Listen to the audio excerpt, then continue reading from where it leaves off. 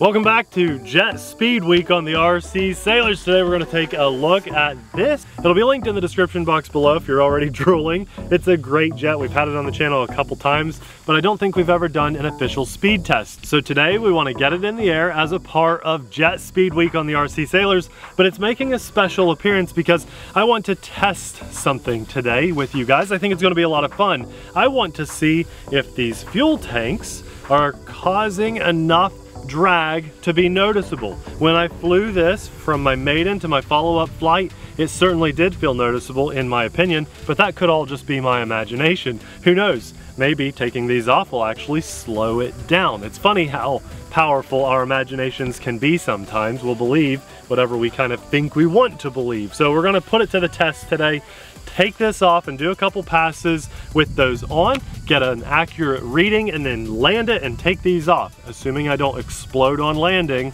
and see if it goes any faster. I'm assuming that it will, but you know what assumptions do to us, right? Now we still have a lot of fun planned for RC Jet Speed Week, so for whatever reason, if you're not subscribed, you wanna be sure to hit that subscribe button and uh, hit the like button on this video too, because I'm having a great time. Hopefully you guys are too. And having said that, I'm ready to fly, so let's go. Well, that just doesn't look right on the side of that plane there, does it? It really doesn't. But that is our speed meter and it is zeroed out and we are gonna see how fast we can get this guy to go. Now, I want to hear your guesses in the comments. I want the with and without fuel tanks guesses.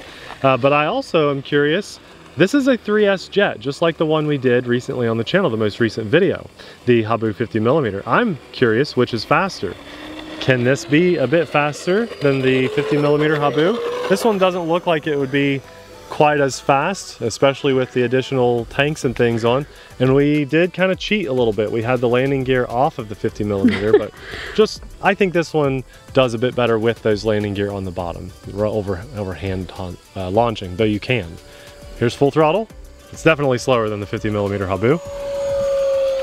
Remember we do have a steerable wheel and a rudder on this, so that's nice. Actually the, others, the other has a steerable wheel too, but I don't think it has rudder control, the 50 millimeter Habu. So in my opinion, this is definitely going slower than the 50 millimeter Habu, but it does, it looks cool too.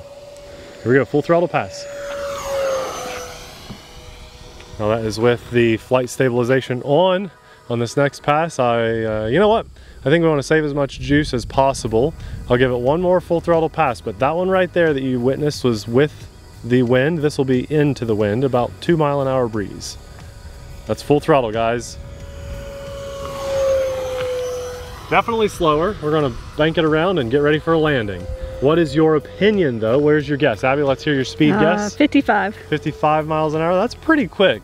I'm gonna go slightly under you on this oh, one. I'm gonna go, I'm actually gonna go 50 miles an hour. I think you're wrong. I, okay, well, it just, something about it just didn't look that fast. I think we're gonna definitely see an increase in speed when we take those tanks off though. I'm excited uh, to see it. Landing this without flaps or anything, because this is speed week, baby. So we're landing fast today.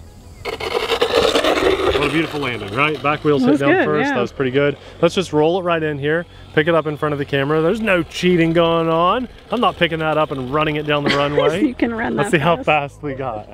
Let's see. Yeah, that's a six. That is a six. We hit uh, 62 miles an hour. Easy to see. There you go. yeah. yeah. Okay, I'm I'm surprised. It felt a bit slower than that. Now here's where the magic is going to happen. This is where we're very curious about this little experiment flight stabilization is trying to fight us. And that's what's nice about these little fuel tanks. They just lock key in and out of place. How easy are the landing gear to take off? And can you hand launch this one? The back wheel's very easy. The front would require a small tool, which I do not have. I could hand launch, I think I have, uh, but we're gonna stick to this and just know that that will slow it down a little bit. In my opinion, this is kind of more about how much drag do those fuel tanks add. So uh, it's at 62 miles an hour. I know it's gonna be faster. I didn't reset the meter, so if it still says 62, then I'll land it and we'll take it off again. Oh, oh no, no, oh, no, no. Whoa. That was some drag, that was some drag. I should have picked up a little more speed before trying to lift I off. I was surprised you went that way. Uh, yeah, well, that was nose into the breeze though, so.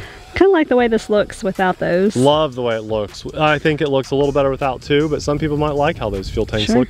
This is going to be nose into the wind. It's starting to feel more like five miles an hour wind right now.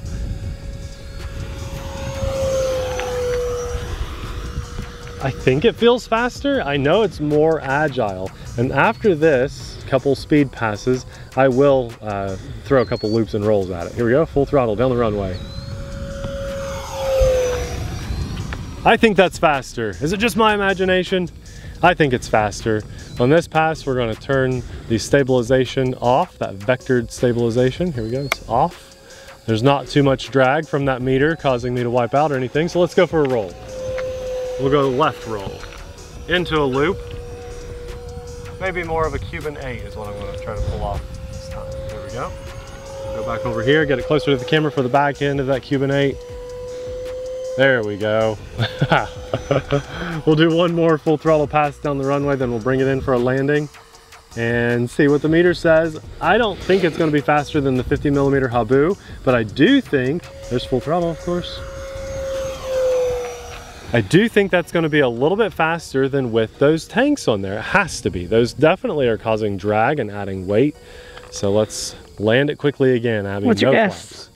Oh boy, I'm I've been off so far this week.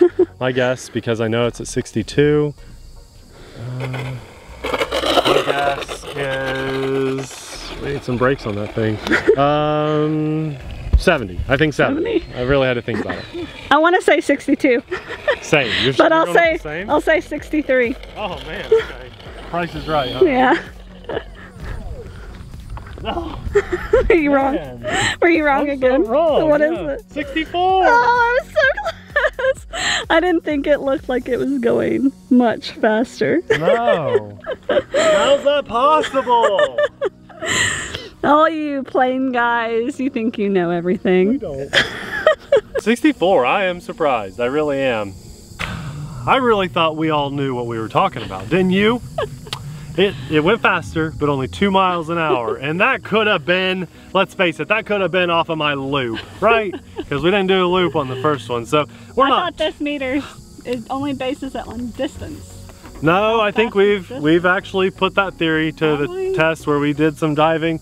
It's Hard not extremely technical here on our channel. It's very hard to get an absolute accurate reading, but that is really good. It does a great job on our ground vehicles and it gets really close for our jets. And what we can say is, even if it is slightly off, we're being consistent. We're using the same method of speed recording. So as long as we have something to go off of, we can at least say that is the same meter and this is slower than the Habu. Remember, we did some loops and rolls and things on the Habu as well with the meter on there. So we can at least say in comparison, that is the case. Now, no, we could have done a little bit more technical. We're not the Mythbusters. it is, it is maybe slightly faster and in my opinion it feels faster it looks faster and it feels more agile when you're flying without those tanks but they do add some durability and some cool factor. This is a very cool jet. I love flying it. Every time i get it out to fly the cool thing is it's a 3s jet so the battery cost is very low and it comes with its own flight stabilization system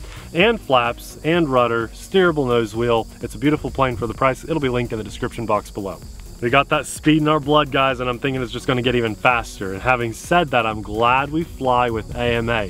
When Nate and Abby get in front of the camera and do experimentations with our speed meter taped on the outside, taking on and off these tanks, not necessarily knowing the outcome, I'm glad I'm flying with insurance. And if you guys are just going to the hobby shop, buying online, using our link, whatever, uh, and you're maidening your planes for the first time, you know that feeling. I know that feeling. No matter how good you think you are, even if it's a little UMX thing with stabilization on, the maiden is always a little bit nerve wracking. And I'm glad I've got insurance covering myself uh, on those maiden flights, especially. But man, lately it seems like these non-maidening flights where my confidence is going up but my ability is just slightly behind is where I get the crashes. So AMA will be linked in the description box below. And guys, what a beautiful day we've had to get out here and fly and share this.